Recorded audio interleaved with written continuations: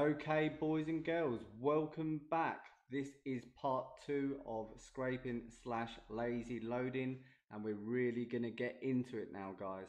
Before I get started, I just want to uh, read out the shameless plugs. If you haven't already done so, get over to the botempire.com and check out all the resources on there. There's free videos and free templates like this one. And the link is in the description. You can grab this template and work on it yourself in your little bot lab. Okay guys, also check out the course. The course, the price you see on the site is for lifetime updates and we go into depth on every subject. We build out projects. Like I say, the price you pay is for all the updates that are done every week. So it's an endless learning experience. Also, if you want any templates or custom bots done, um, there's also that section on the site and also we're just uploading now all the new bots that are pre-made and are for sale. There's all types of bots on there so ch check a look at the bots for sale section. Okay plug over. Let's get on with the meat of the video. Okay if you're following along you would have already uh, watched the last part of this part one of this video series. If you haven't done so you naughty boy or girl get back there and watch the first part of this video because we'll be continuing from there. What um, the issue that we had in the last video is that it's all well and good. We were scraping profiles from TikTok like a boss. However um, the site uses lazy loading which means that when you um, scroll down the page more profiles are loaded. So you need to be able to scroll um, and pick up the rest of the profiles. So I've modified the script a bit. Let's see that in action before we get into what I've done. So it's the same as before. I just have one resource that is going to collect all the username URLs or the profile URLs. We're going to come to TikTok, the trending section again, and we are going to load this and oh my goodness, this, this site. Okay, so as you can see, we're scraping the usernames as before.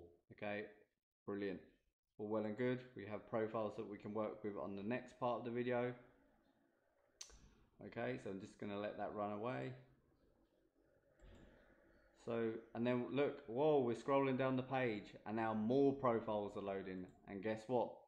We're scraping them. So we've got more than the first 30 now, guys. We're just continuously scraping. So it's going to scrape all the URLs here.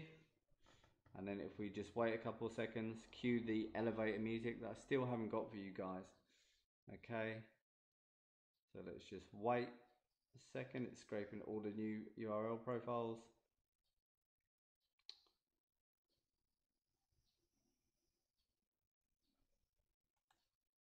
Yep, it's still going.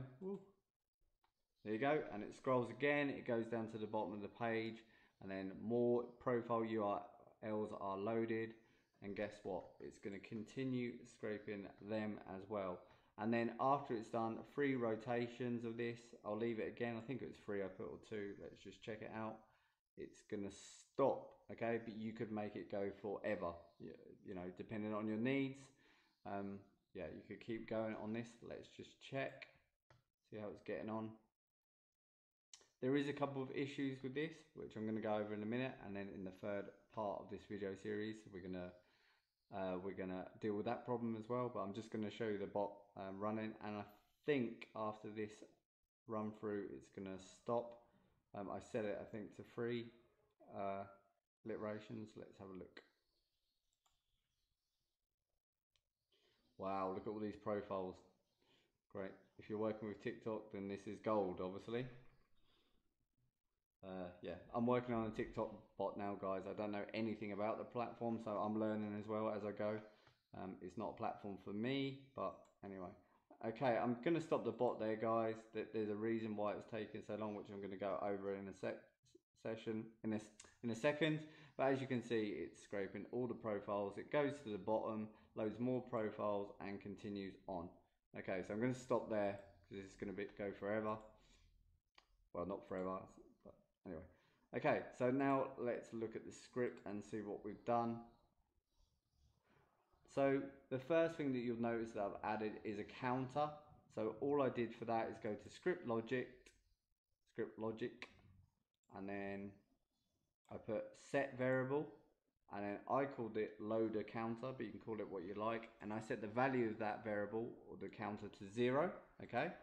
The rest is the same apart from I added a sleep just before, um, just after we load the uh, trending section. So all I did for that was come to waiters and then sleep and then I just put 5000 because it's in mill milliseconds.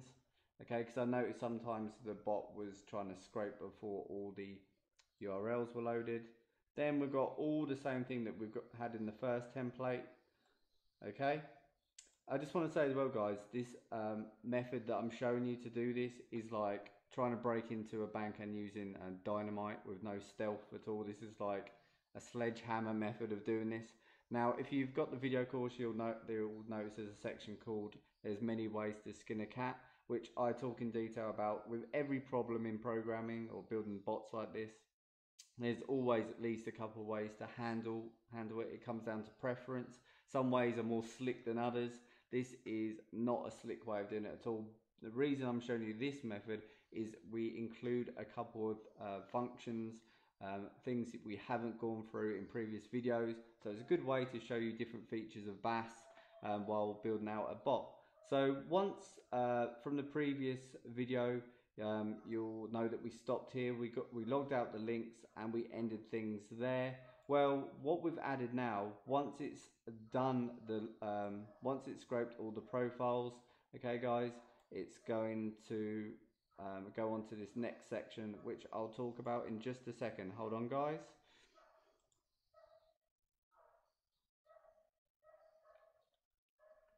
Just seeing how long I've been doing this for.